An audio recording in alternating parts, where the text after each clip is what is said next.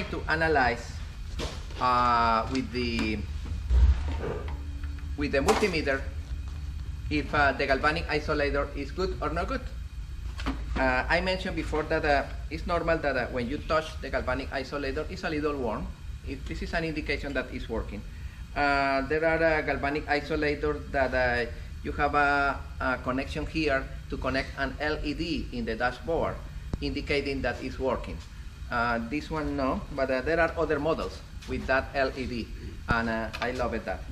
Okay, number one, uh, I am going, this one, the galvanic isolator, is connected to the green cable. You remember? The green cable coming from the outlet here, enter here, and after that continue into the ground bus bar of the boat.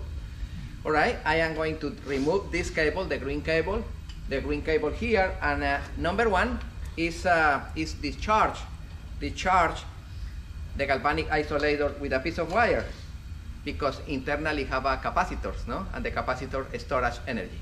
Now I discharge, is completely discharged, and I am going to check this element with the multimeter. Remember guys that uh, uh, one of the function here is uh, diodes and the yellow one capacitors. Today we are going to learn about diodes. In diodes, we are going to move the display uh, to the function diodes. The diode, the unit is in volts.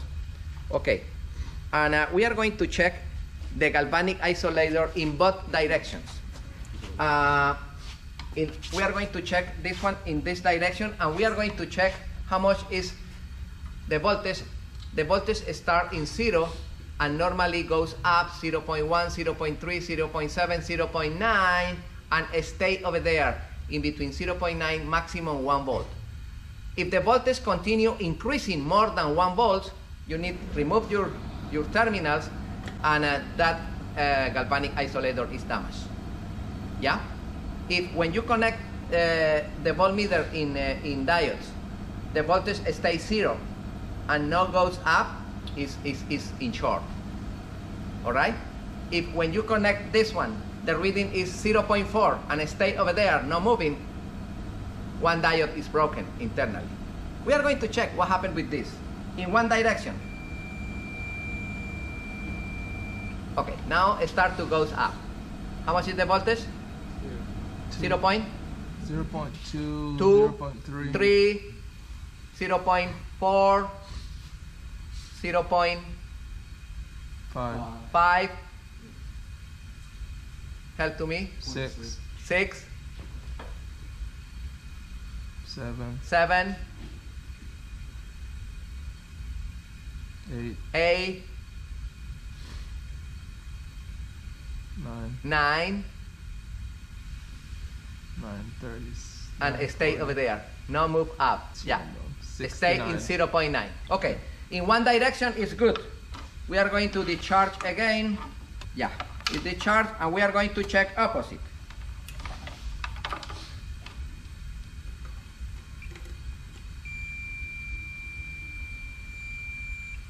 And once again start 0.1 and 9. And stay over there. 0.93, 94, no more, no more than one volt. This is an indication that this element is, is good. Okay, no, the readings are crazy in both directions, it's damaged. Or it's zero and no moving, It's damaged. In your book, you have that display, that, uh, that uh, slide where I explain how to, uh, to understand those readings. Check the book. All right, guys, this is the process to check the galvanic isolator. And this is the function of the galvanic isolator. It's block the intrusion of bad currents. Block the intrusion of bad currents. Yeah, simple, no? Uh, what the galvanic isolators are coming in uh, the capacity in amps. For example, this is good for boats with a 120, 240, single phase, double phase, uh, 50 hertz, 60 hertz, uh, with a with a breaker of uh, no more than 30 amps per phase, 30 amps per phase. Okay, All right, if I have more than 30 amps in each phase, I need a bigger, bigger uh, galvanic isolator. It's not complicated, the decision to select the galvanic isolator. I recommend some boats, they have two outlets for, for shore power, no, Captain? Uh, yes. Two double, outlets. Yeah. I recommend one galvanic isolator per each outlet. Some people combine both outlets with the same. No, I prefer separated. You need verify the condition of the galvanic isolator minimum once per year. Twice is better. Yeah?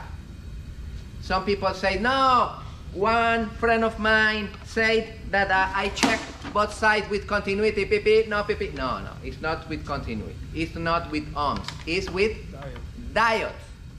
In the function diode And you see how the voltage grow from 0 to 0.9, maximum 1 volt, in both directions, in the function diode. No continuity, no resistance, no nothing. It's diodes. Good? This is the galvanic isolator. Okay. And this is the only element used, used to prevent the intrusion of bad currents in your boat. Now we are going to analyze what is the meaning of this element, the isolator transformer. But uh, before we talk uh, about the isolator transformer, let me explain something about the different type of transformers. Uh, normally the transformer is a frame of iron. Is a frame of iron.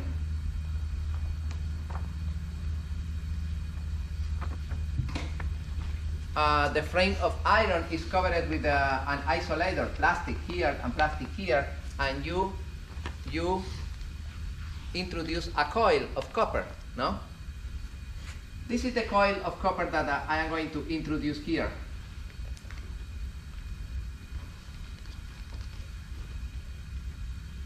Remember that uh, in the coil, the beginning of the cable is the hot, and the end of the cable is the neutral.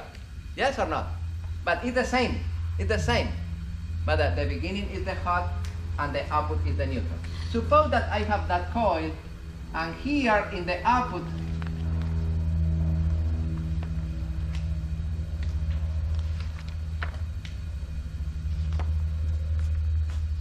at the input, this is considered the primary, and this is considered the secondary.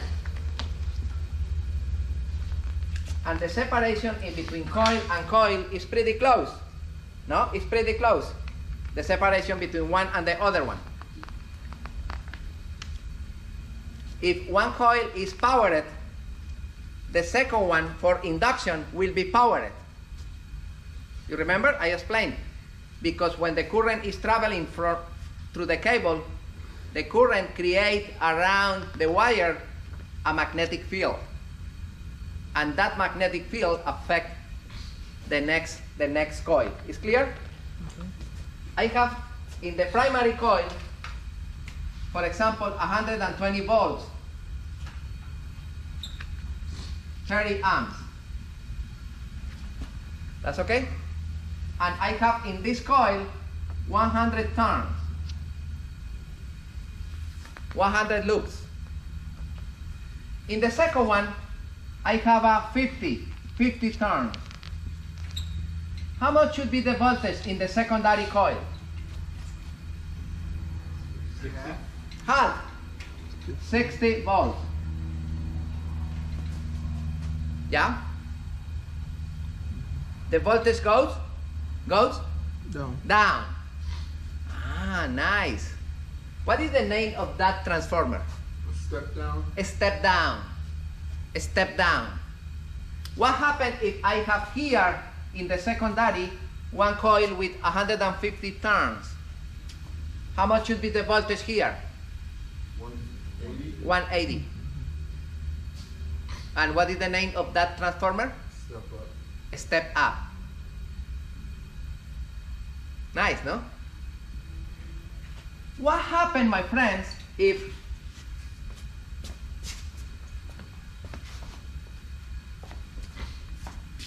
if in both sides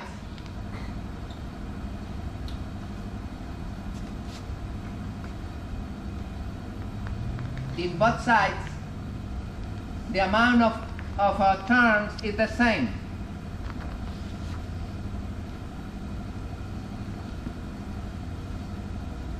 One hundred and one hundred.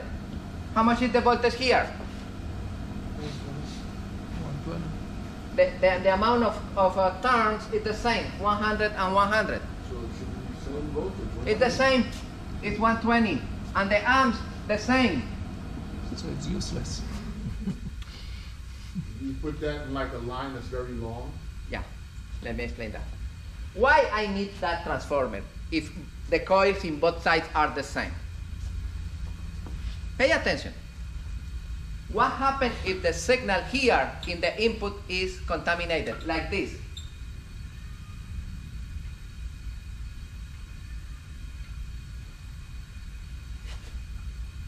How is the signal in the output? Completely? Completely? Clean. clean. Pay attention. It's like a mirror. Oh, okay. Pay attention. I have a mirror here, and I have other Lopez in the mirror. That Lopez have a problem with the eyes. That Lopez have problem with the heart, with diabetes. All of mm-hmm. that Lopez is perfect. The Lopez of the mirror. This is the Lopez of the mirror, and this is the Lopez. Todo jodido. You know? All right. What is the function of this transformer, isolator transformer? Signal booster. Clean the signal. Clean the signal. It's different like this. What is the function of this? Is this that bad current? Block the intrusion of bad currents. With this, you don't block. You only clean the signal. You understand? Mm-hmm. You clean AC signals with the isolator transformer. With this, you block the intrusion of bad currents. Ah, for prevention of corrosion, what is the element that you need in your boat? This or this? For bad current? This one. This one. This one is used to prevent corrosion. What is the advantage in your boat if you have that clean signal inside of the boat? Pay attention. This is the element is mandatory, is necessary in hospitals, in, uh, in, uh, in universities. Can you imagine in a hospital, in the, in the surgery room, the doctor is doing a sophisticated surgery in the, in the brain of other guy, and uh, what happened if the signal coming in in the building is contaminated? You have erratic information in the robot. For that reason, in the hospitals, they have in each building one isolator transformer to clean the signal because all of those electronic devices they need perfect signals, clean signals. That's clear, my friends? Why in your boat you need an isolator transformer? My boat is not a hospital, Mr. Lopez. But uh, in your boat, every day you have more sophisticated electronic devices. And uh, you, you know what happened when you have noise, interference in the signals? What happened in the main display of your boat? You have lines moving. You have in, you have you have you have a lot of exactly statics. This is perfect to clean everything. That's okay? That's the function of the isolator transformer and the function of the galvanic isolator. They are completely different. That's okay? Ah, in other words, let me explain something additional. This is the frame. This is the frame. And this is the signal. This is the signal that is entering in the main breaker of the AC panel, no? This is the main breaker. And uh, here is connected to the Ground. to the ground. Yeah, you see? This one is connected to the ground. The frame the frame, the frame of the galvanic isolator is connected to the ground. Clear, guys? That's the function of the galvanic